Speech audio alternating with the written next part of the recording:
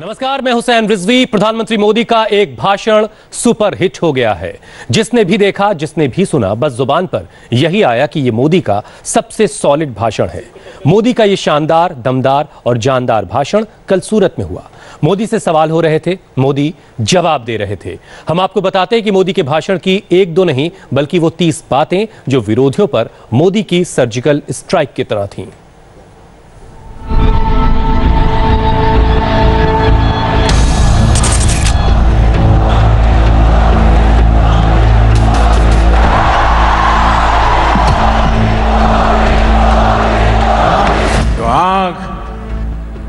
जवान के दिल में थी, वही आग इस प्रधानमंत्री के दिल में।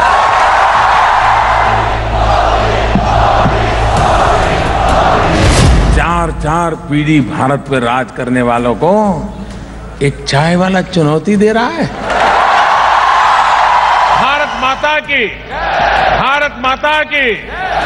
ये ऐसा नेता है, खुद सेट होता नहीं अपने लिए और नहीं औरों को अपसेट किए बिना छोड़ता है। शानदार। दमदार। भारत माता की। जानदार। भारत माता की। वंदे। प्रधानमंत्री का ऐसा सॉलिड प्रहार पहले ना कभी किसी ने देखा ना कभी किसी ने सुना। चार चार पीढ़ी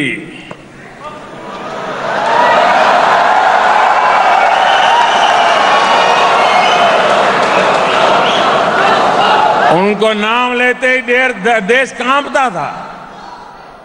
उनकी ताकत ऐसी थी, देश को 18 महीने तक जेल खाना बना दिया था। ये ताकत थी उनकी।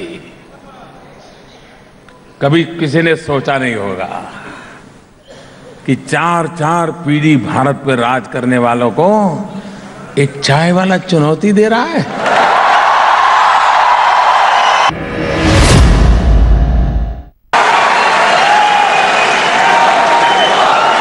और आपको पता है ना,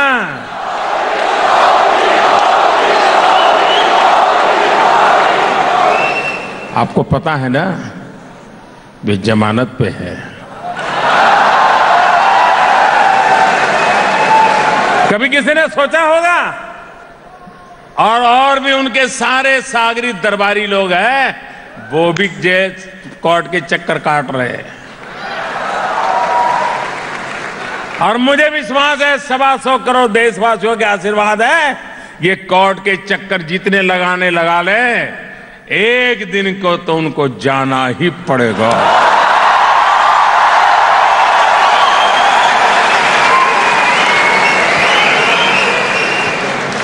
देश का जिन्होंने लूटा है, उन्होंने लौटाना ही पड़ेगा।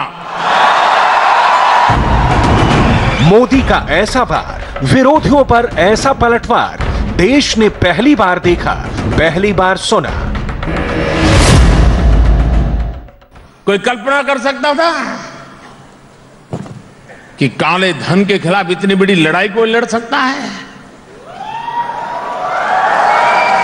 हर कोई सोचते थे कि नेता लोग आते हैं, बोलते हैं, फिर वो भी सेट हो जाते हैं। ये ऐसा नेता है खुद सेट होता नहीं अपने लिए और नहीं औरों को अपसेट किए बिना छोड़ता है। मोदी का एक एक शब्द आग उगल रहा था और ये वो आग थी जो एक प्रधानमंत्री के सीने में जल रही थी। 26 ग्यारह हुआ था याद है? 26 इलेवन याद है ना? मुंबई में आतंकियों ने हमला किया था। बाद में क्या हुआ?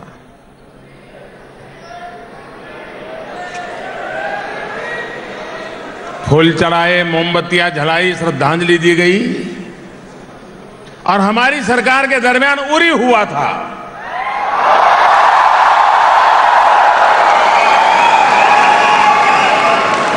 उरी के बाद क्या हुआ? क्या हुआ? ये बदल हुआ कि नहीं हुआ? निर्दोष लोगों को मौत के घाट उतार दिया गया और सरकार सोचती रही। उरी ने हमें सोने नहीं दिया। मंच से मोदी शेर की तरह दहाड़ रहे थे और सुनने वाले मोदी मोदी के नारे लगा रहे थे।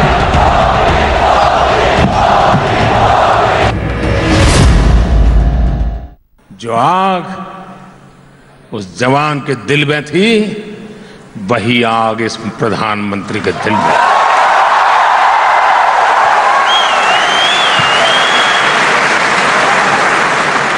और उसी का परिणाम हुआ सर्जिकल स्ट्राइक।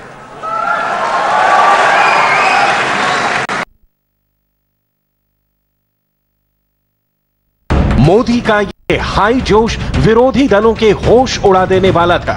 मोदी ने कहा कि पहले आतंकी हमलों की खबर आती थी, अब रोज आतंकियों के मारे जाने की खबर आती है।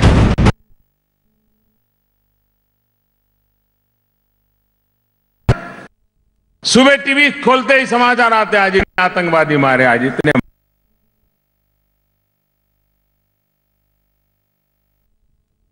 ये ठीक है, हमारे जवान भी शहीद हो रहे हैं। लेकिन वे सीना तान करके लड़ते लड़ते मर रहे हैं सोए हुए आकर के कोई बम फेंक करके नहीं मार पा रहा। मोदी बोलते जा रहे थे अपने कामकाज का हिसाब देते जा रहे थे। प्रधानमंत्री ने सीना ठोक कर कहा जो सोच कर आए थे वो करके दिखाया मैंने देश बदल डाला। 2004 से 2014 जब रिमोट वाली सरकार चलती थी।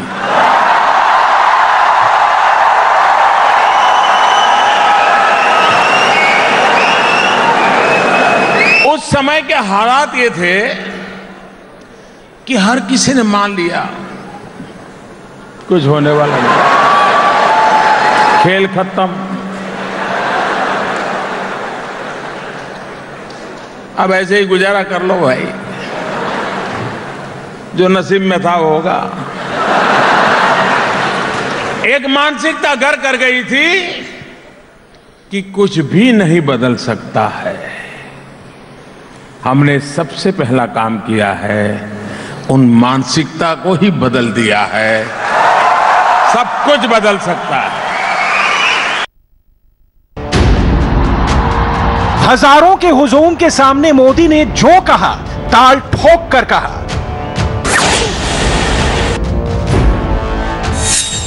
2014 के उन दिनों को याद कीजिए। देश निराशा की गर्त में डूबा हुआ था। लोग हिंदुस्तान छोड़ करके जाना, बाहर जाना, कहीं सेट होना, उस पर चर्चा चल रही थी। यह भी चर्चा चल रही थी कि अरे, देश कैसे बचेगा? क्या होगा देश का? देखते ही देखते निराशा आशा में बदल गई। आशा विश्वास में बदल गया। और ये विश्वास भी ऐसा है, जिसने सवा सौ करोड़ देशवासियों में आत्मविश्वास भी जगाया है। ये आत्मविश्वास, ये सपने हिंदुस्तान को बहुत आगे ले जाने की ताकत रखते हैं। मोदी सरकार में देश में क्या क्या बदला, ये बात प्रधानमंत्री ने महज दो शब्दों में समझा दिया।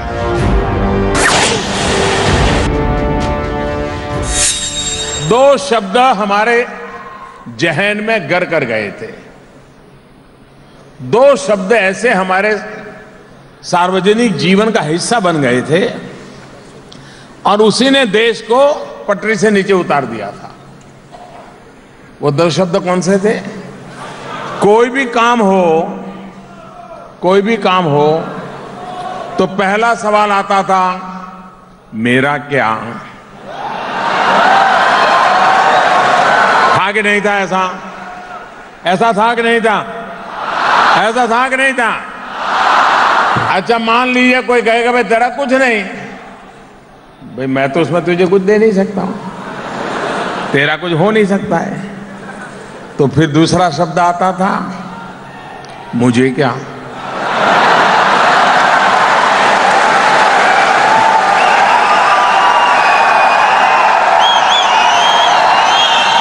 यानी कुछ आशा अपेक्षा से मेरा क्या? लेकिन अगर बात बने ही मुझे क्या जाओ मरो? हमने इन दोनों शब्दों के खिलाफ लड़ाई लड़ी है, दोस्तों। मोदी बोलते जा रहे थे, तालियाँ बजती जा रही थी।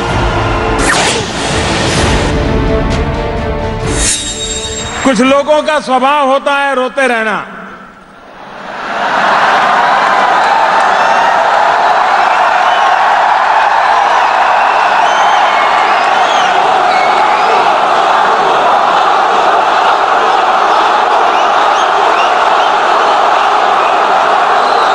न मेरा रोने में विश्वास है, न रुलाने में विश्वास है। मुझे आगे चलाने में विश्वास है।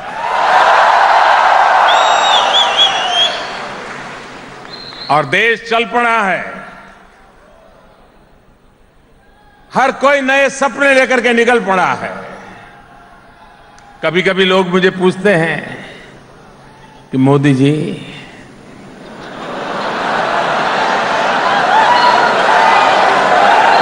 आपने काम तो बहुत किया। हर क्षेत्र में काम किया।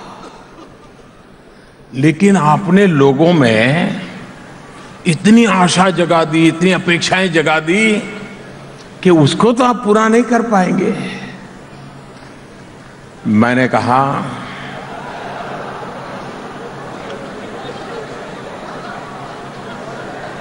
कि निराशा के बजाय आशा पैदा होना अच्छा है कि बुरा है।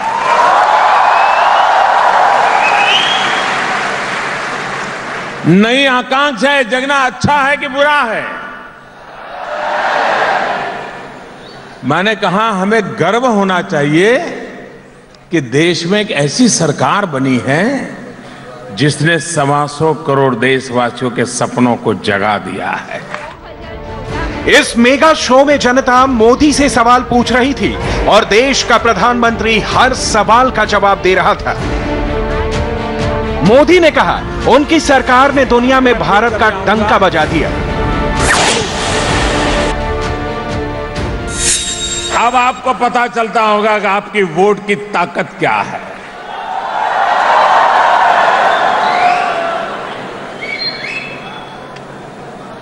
आपके एक वोट ने पाँच साल तक मुझे दौड़ाता है, आपका वोट।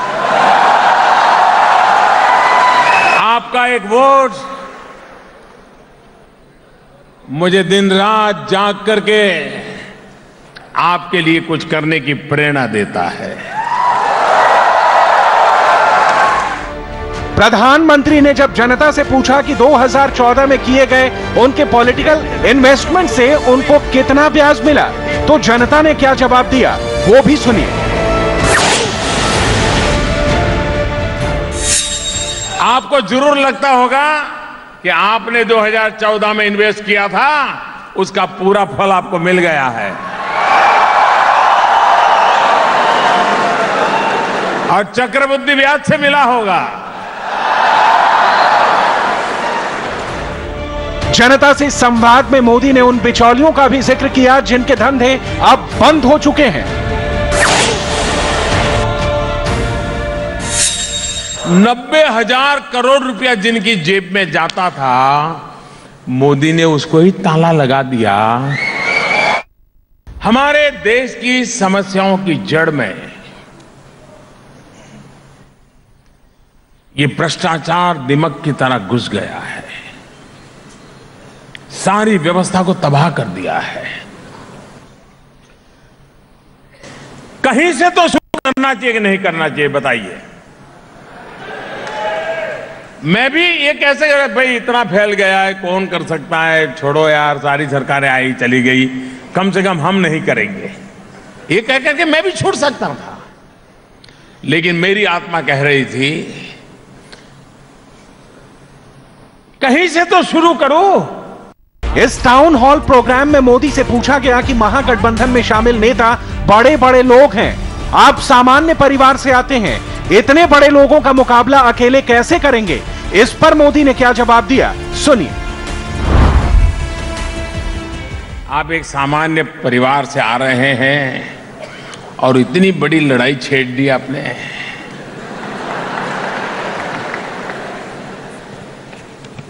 मुझे लगता है कि मैं इसलिए छेड़ पाया हूँ क्योंकि मैं सामान्य परिवार से आता हूँ।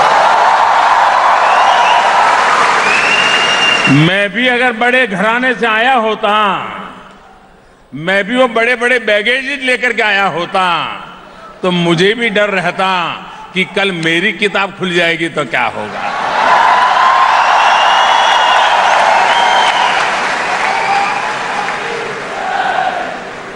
हमें तो वो डर ही नहीं था।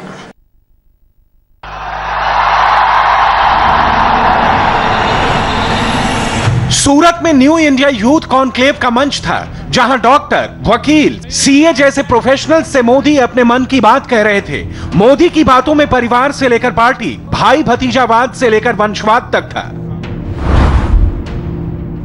परिवारवाद, वंशवाद, जातिवाद, संप्रदायवाद, भ्रष्टाचार, ऊंच नीच का भाव, ये सारी चीज़ों ने देश को बर्बाद किया है। उससे जो मुक्ति दिलाता है और जो देश को आगे ले जाने के लिए सोचता है, उसी के साथ चलना चाहिए। ये भाव हमारी नई पीढ़ी में होना चाहिए। हमारे फ़र्स्ट टाइम वोटरों ने आपातकाल क्या था? हिंदुस्तान को जेल खाना बना दिया तो उसको पता नहीं है। प्रधानमंत्री ने कहा कि उन्होंने अपने शासन में देश को बर्बादी से बचाने की कोशिश की। जो किया, वो सही दिशा में किया। ये पाँच साल में इस बर्बादी से बचाने की कोशिश हो रही है। अभी भी मैं ये नहीं कहता तो मैंने सब कर लिया है। मैंने ऐसा दावा कभी नहीं किया है। लेकिन किया है वो सही दिशा में किया है। सही करने के लिए किया है। और अपनी चमड़ी बचा कर कर कर नहीं किया है, जी जान से किया है, खुद को दांव पे लगा कर कर किया है। और आजकल तो युवाओं में चर्चा है हाउ इज़ द जोश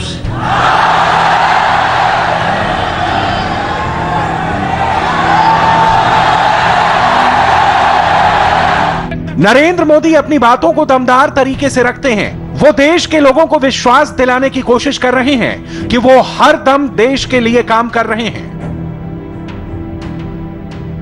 अगर एक बार क्योंकि समाज ने मुझे यहाँ सोने के लिए नहीं भेजा है मौज करने के लिए नहीं भेजा है। प्रधानमंत्री पद को एंजॉय करने के लिए नहीं भेजा है। काली मजदूरी करने में कोई पीछे नहीं रहा। मोदी से जब सवाल किया गया कि विरोधियों की निगेटिव बातों का असर कम करने का उपाय क्या है मोदी ने इसका क्या रामबाण उपाय बताया? सुनिए। नेगेटिविटी का उत्तम उपाय क्या है? पॉजिटिविटी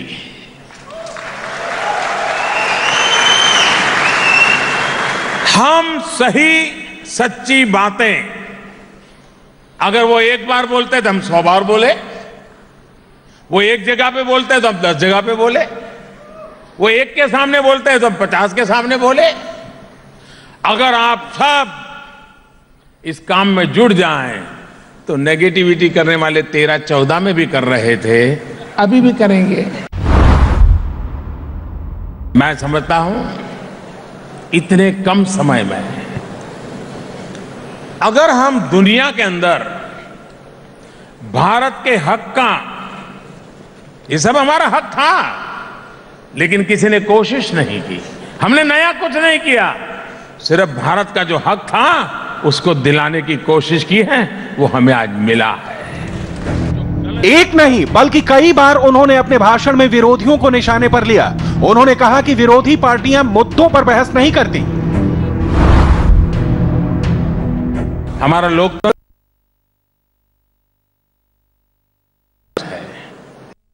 लेकिन हमारे देश के राजनीतिक दलों की मानसिकता अभी भी बहुत पुरानी है। और इसलिए लगातार डेवलपमेंट के मुद्दों पर डिबेट हो, सामान्य मानवी की आशा, आकांक्षाओं, अपेक्षाओं के संदर्भ में डिबेट हो, रेल, रोड, बिजली, पानी, सड़क, इन सारी चीज़ों में चर्चा हो। लेकिन दुर्भाग्य से हमारे विरोध में बैठे हुए लोग, उनके लिए मुद्दों पर बहस करना बहुत मुश्किल है। और उनका एक ही मुद्दा है। एक ही मुद्दा है। कौन सा मुद्दा है मालूम है? कौन सा मुद्दा है? उनका एक ही मुद्दा है मोदी। वो सुबह उठते ही मोदी मोदी मोदी से शुरू हो जाते हैं। रात को भी पता नहीं, उनको नींद आती होगी, नहीं आती होगी। उनके लिए मुद्दा मोदी है हमारे लिए मुद्दा सवा सौ करोड़ देशवासियों के सपने हैं। देश के नौजवानों को संबोधित करते हुए मोदी ने कहा कि वो मोदी के दावों को वेरीफाई कर सकते हैं। हमारे देश की नई पीढ़ी के जो नौजवान है जो फ़र्स्ट टाइम वोटर है उनमें ये महारत हमसे भी ज़्यादा है। वो मोबाइल फ़ोन पर सारी दुनिया खोज करके वो गूगल गुरु के विद्यार्थी हैं। वो गूगल को पूछेंगे बताओ भाई, ये मोदी को ऐसा कह रहा है, सच क्या है? उसको पाँच मिनट में मिल जाएगा। मैं चाहता हूँ, देश की युवा पीढ़ी खबरों को बराबर बारीकी से एनालिसिस करने की आदत बनाए। किसी भी ऐसे नौजवान का कंफ्यूजन होना बहुत स्वाभाविक है। लेकिन आज स्थिति वो नहीं है। कुछ बदलाव है। पहले ये टीवी हो, अखबार हो, जो परोसते थे, आपको वही लेना पड़ता था। अब आपके मोबाइल फ़ोन पर पूरी दुनिया है। आप वेरीफाई कर सकते हो इंक्वायरी कर सकते हो कि सच बोल रहा है कि झूठ बोल रहा है। आराम से कर सकते हो। भारत का डंका विदेशों में बज रहा है। देश के आत्मविश्वास की झलक प्रधानमंत्री के आत्मविश्वास में झलकती है। मैं भारत का भविष्य बहुत उज्जवल देखता हूँ। शानदार देखता हूँ, जानदार देखता हूँ।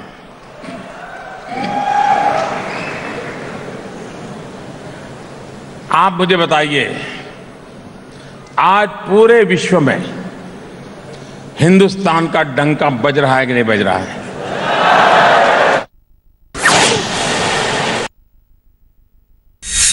कांग्रेस मुक्त भारत का मतलब है, पिछले सत्तर साल में कांग्रेस ने जो गलत चीज़ें देश के राजनीतिक जीवन में, सामाजिक जीवन में, पारिवारिक जीवन में घुसेड़ दिए हैं, देश को उससे मुक्ति दिलानी है।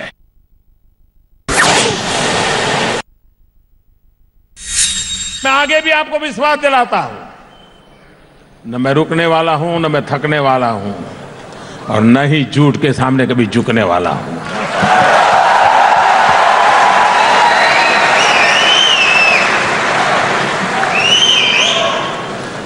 मेरा सर झुकता है एक ही जगह पे, सवा सौ करोड़ हिंदुस्तानियों के आगे।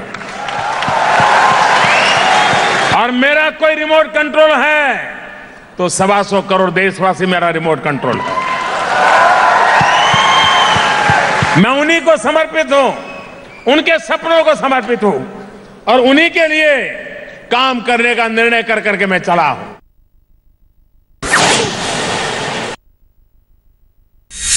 कोई कल्पना कर सकता है कि हम कहें कि अंतर्राष्ट्रीय योगा दिवस मनाओ और दुनिया के करीब करीब सभी देश नाक पकड़ करके बैठ जाए। गर्व होता है कि नहीं होता है? दुनिया के अनेक देश इजराइल और पैलेस्टाइन लड़ते हो।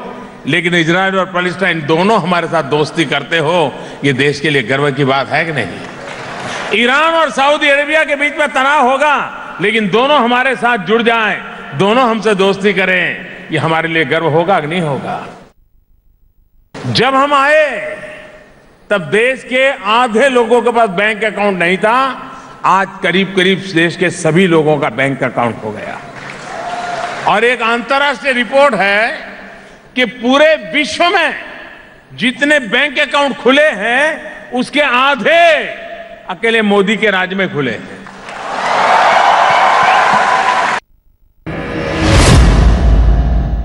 कोई कल्पना कर सकता है कि जब हमारी सरकार बनी, तब हम दुनिया में अर्थव्यवस्था में दसवें नंबर पे थे। पूरे विश्व में हम दसवें नंबर पे थे। आज हम छठे नंबर पे पहुँच गए।